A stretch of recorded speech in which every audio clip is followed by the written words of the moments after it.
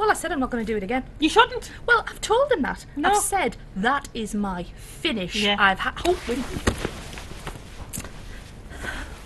Hello. Welcome to Laugh Down Your Local. we're Chambers and Nettleton. I'm Lynn. I'm Sally. And we're here to introduce some brilliant comedy tonight. Yeah. Why have you got your posh voice on? Because we're doing an introduction. We've been asked to present. Do you know what I mean? That's why I'm sitting on my jacket. You should sit on your jacket. That's what presenters do. They sit on the jacket, they look into the camera. I haven't got a jacket.